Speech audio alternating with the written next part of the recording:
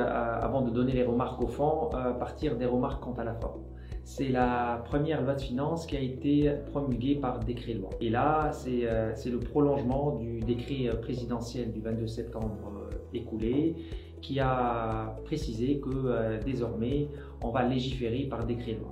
Donc aujourd'hui, la loi de finances n'a pas suivi le process classique qu'on connaît, qui est le passage à l'ARP, puis euh, aux commissions des finances, discussion par les différentes parties prenantes impliquées dans la loi de finances, que ce soit les organismes nationaux, que ce soit les, les chambres mixtes, les différents experts, partis politiques et autres, et puis passage à l'Assemblée nationale, à l'Assemblée générale, et puis éventuellement recours avant d'être ratifié par le président de la République. Donc tout ce process-là n'a pas été suivi par cette loi de finances qui est passée directement par la promulgation par décret-loi du président de la République.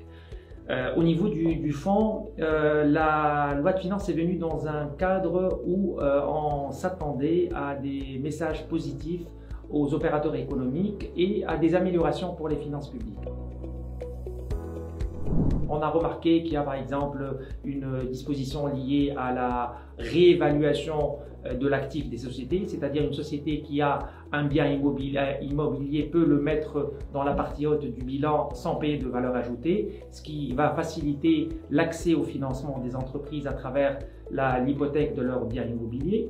Autre euh, mesure positive peut-être, c'est permettre aux entreprises totalement exportatrices d'écouler 50% de leur chiffre d'affaires sur le marché local et non pas calculer sur l'année d'avant, puisque l'année d'avant n'est pas une année référence, 2020 et 2021 c'était des, années plates, et donc ça leur permettait de calculer 50% du chiffre d'affaires sur l'année 2019 qui est en soi quelque chose de positif. Troisième remarque, elle est liée au secteur immobilier, des promoteurs immobiliers. Les appartements acquis auprès de promoteurs immobiliers peuvent être enregistrés au droit euh, fixe à hauteur de 500 000 dinars et non pas à hauteur de 300 000 dinars, ce qui peut encourager et booster ce secteur-là.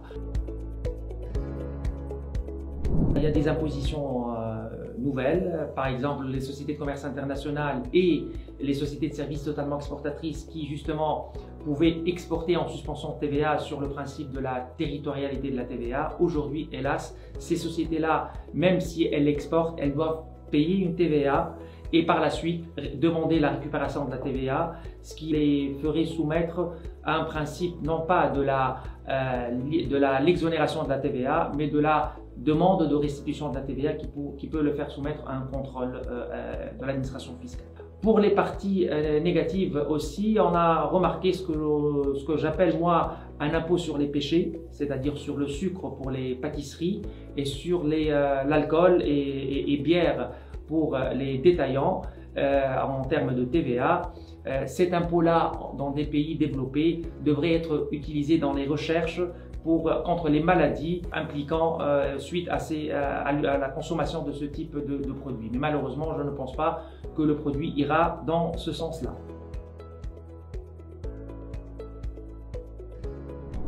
Les opérateurs économiques euh, s'attendaient dans une période difficile, disons euh, marquée par euh, des difficultés structurelles que connaissent les sociétés, des problèmes liés à la Covid, des, des problèmes d'accès au financement. Elles s'attendaient à une sorte de bouffée d'oxygène. Mais malheureusement, je ne pense pas euh, qu'elles aient pu euh, trouver la bouffée d'oxygène qu'elles attendaient. Ce que j'ai perçu dans une lecture diagonale, ce sont des mesures au-deçà de ce que les entreprises euh, aujourd'hui et les opérateurs économiques attendent pour justement booster la situation de leur trésorerie et le développement de leur activité.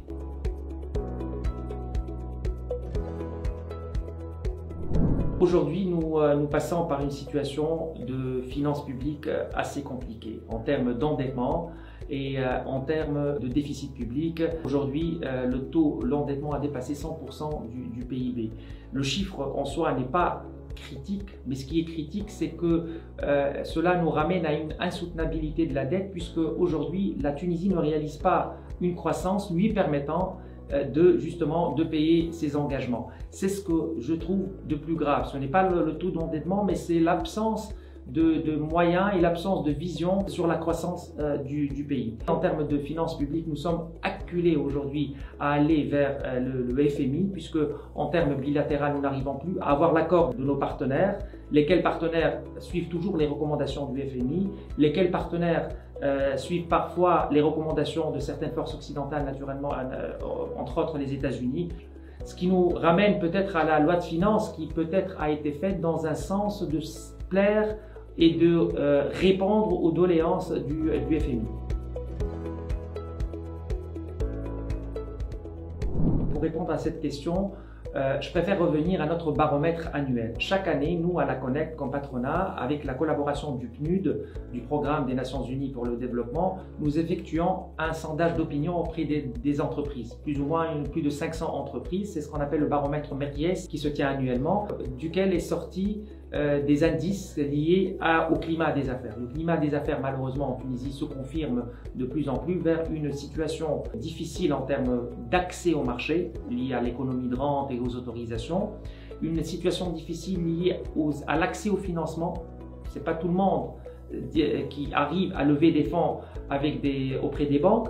Euh, situation de la corruption, situation, euh, difficulté avec l'administration, notamment la douane et l'administration fiscale, c'est ce que les entreprises euh, interviewées ou sondées ont confirmé en termes de situation générale du climat des affaires en Tunisie.